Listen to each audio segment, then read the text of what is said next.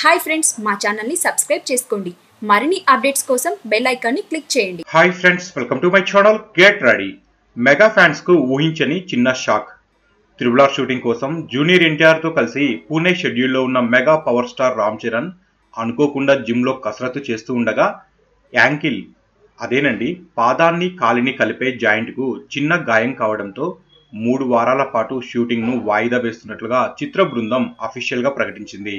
Minor injury అన్న unit అభిమానులు కంగారు పడతారు అనే ఉద్దేశంతో ఫోటోలు గట్రా లాంటివి పోస్టు చేయలేదు.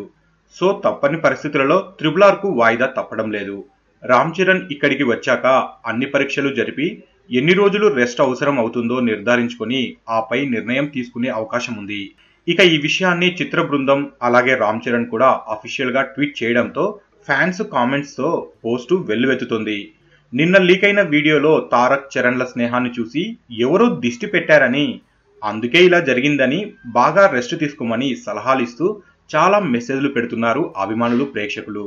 రాజమౌళి సినిమాలో హీరోలకు గాయాలు కాకుండా ఏది పూర్తి కాదని కొందరు గత ఉదాహరణలు చెప్తున్నారు. ఏదైతేనేం అనూహ్యంగా రామ్ చరణ్ గాయం వల్ల సుమారు నెల రోజుల పాటు నార్త్ ఇండియా షెడ్యూల్కు బ్రేక్ పడిపోయింది. ఇక మెగా అభిమానులైతే రామ్ చరణ్ వీలైనంత త్వరగా కోలుకొని కనిపించాలని సోషల్ మీడియాలో ఎప్పుడూ యాక్టివ్గా ఉండే ఉపాసనకు అభిమానులు ప్రత్యేకంగా రిక్వెస్ట్ చేస్తూ ఉన్నారు. ఇక రామ్ చరణ్ కాలికి గాయం కావడంతో సరిగ్గా నడవాలన్నా పరిగెత్తాలన్నా కూడా కష్టమే.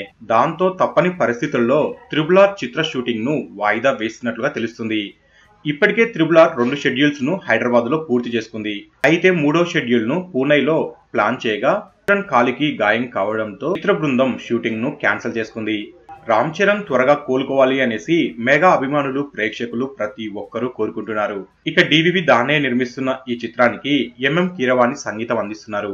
ఈ మూవీలో బాలీవుడ్ హీరో అజయ్ దేవగన్ నటి ఆలియా భట్ హాలీవుడ్ నటి డైసీ ఎడ్గర్ జోన్స్ నటిస్తున్నారు. మరిన్ని ఫిల్మ్ అప్డేట్స్ కోసం మన ఛానల్ని తప్పకుండా సబ్స్క్రైబ్ చేసుకోండి.